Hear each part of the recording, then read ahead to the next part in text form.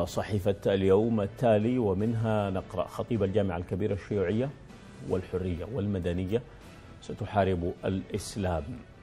في تفاصيل هذا الخبر أقر إمام وخطيب المسجد الكبير بالخرطوم بأن الشيوعية والحرية والمدنية ستعمل على محاربة الإسلام كما لفت إلى أن إيكال المسلمين أمرهم لغير الله ألقى بظلال سالبة. وقال خطيب المسجد الكبير في خطبة الجمعة أنه لا بد من عاقل يعيد الإسلام والعدالة والراحة والتسامح. وأضاف رجونا الفرج من غير من غيرنا فأصابنا ما أصابنا.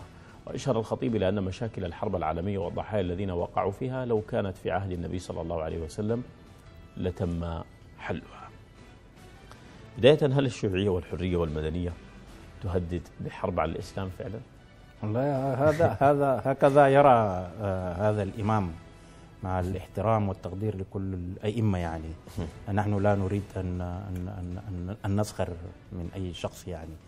آه يعني تجاوزنا يعني يعني هذا ال هذا ال الكيد المتبادل الذي كان.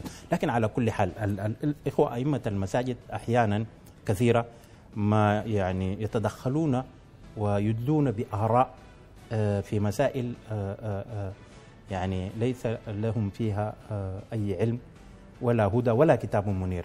يتحدثون في السياسة يتحدثون في الاقتصاد يتحدثون في الاجتماع وهكذا وهم ليسوا أهلا للإدلاء بآراء واضحة جدا في في هذا المد... وبالذات عرضها على جمهور. لو كانت آراء شخصية تخصهم لهم ما شاءوا. لكن أن أن مثل هذه الآراء الغالب ما تكون فطيرة وليس لهم فيها معرفة ولا خبرة ولا علم وهناك أشكال حتى الجمهور يرى قدسية لهذا المكان يعني. لا لا هذه المسألة لا هذه المسألة يعني تراجعت كثيرا يعني تراجعت كثيرا.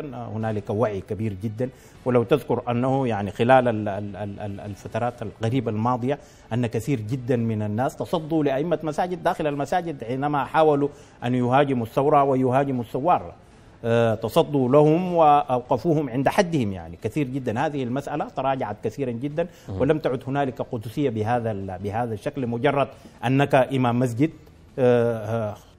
تستحق ان ان أن تبذل لك القدسية والإحترام. لا ابدا. المسألة صار هنالك وعي كبير جدا جدا في في هذا الجانب. ولم يعد من حق أي إمام. هو يسيطر على هو الاتجاه واحد يعني رسالة تبعث لاتجاه واحد. ليس هنالك مجال للأخذ والرد. لهذا من المفترض أنا أعتقد إنه المجلس الذي يشرف على على أعمال الأئمة الأئمة والدعاء أن يحاول بقدر الإمكان ضبط هذه المات انت تعبر عن عن عن, عن المسلمين جميعا. المسجد هذا يرتاده جميع المسلمين فيهم فيهم من مشارب مختلفة. يعني حتى حتى حتى حتى المذاهب حتى المذاهب هنالك مذاهب مختلفة.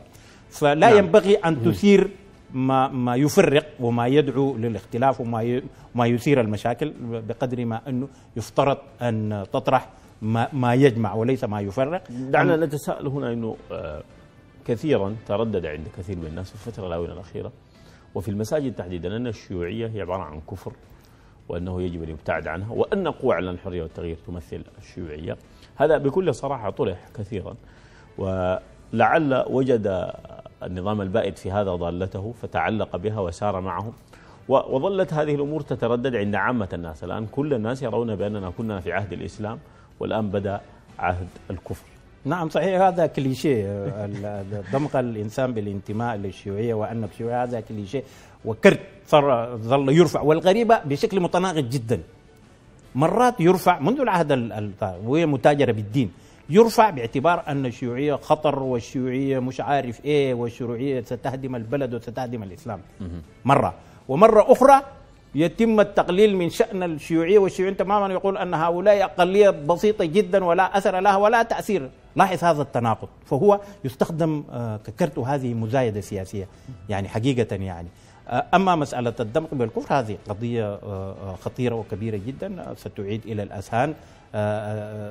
إلقاء التهم الآن هكذا. بالحديث عن هذا الملف تحديدا ظهرت فيديوهات منتشره الآن في السوشيال ميديا بشكل كبير فيها تكفير للقادمين حتى في قوى إعلان الحرية والتغيير وموجوده هذه الفيديوهات في السوشيال ميديا وفيها تحريض بالقتل والقتال وأننا مستعدون وكذا. نعم نعم هذه هي الخطورة هنا يعني هذه الخطورة وأعتقد أن مسألة التكفير هذه ينبغي أن توقف وتوقف في حدها وبواسطة السلطة القائمة الآن يعني. الآن وهي مسؤولية المجلس العسكري حتى الآن أن يتصدى بكل الحزم والحزم لكل مثيري الفتن آه، وإطلاق تهم التهم الجزافية بالتكفير أن فلان هذا كافرا ويجب قتاله ويستباح دمه وهكذا. هذه مسألة خطيرة جدا والقصد منها واضح جدا. هي واحدة من تكتيكات نعم. الفلول أسأل لماذا هؤلاء عندنا عن المقاطعة؟ الأئمة والدعاة صمتوا لثلاثين عاما فيها القتل وفيها المحسوبية وفيها كذا. فلماذا على صوتهم الآن؟ صحيح هل هي الحرية؟ لا هي ليست الحرية. هي واضح جدا أنهم يعني آه، يخدمون تكتيكات وخطط الفلول آه، وعناصر النظام السابق التي تحاول أن تخلق آه، آه، نوعا من البلبلة وإثارة الفتن لإضعاف المنطقة لإضعاف الفترة القادمة ولتشتيت الكرة كما كما يقال.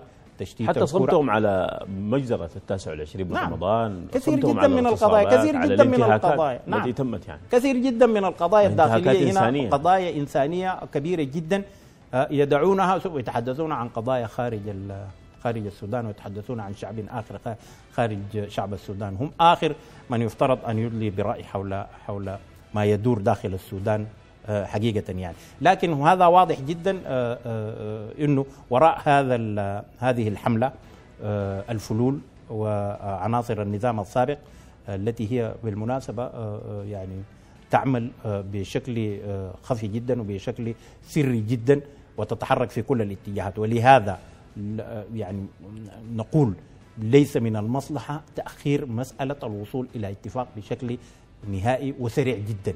لأنه كل تأخير سيمنح مثل هذه التخرصات ومثل هذه الفتن هل هذه دعوة لإعادة ضبط المنابر للحديث مؤكد فيه؟ مؤكد وأنا كما ذكرت لك أنه لابد من السلطة القائمة حاليا حتى الآن وهي مسؤولية المجلس العسكري أن يتصدى لمثل هذه الدعاوي ومثل هذه الخطب ومثل هذه الإثارة آه، التي تدعو آه، للفتنة بين أفراد الشعب السوداني لابد نعم.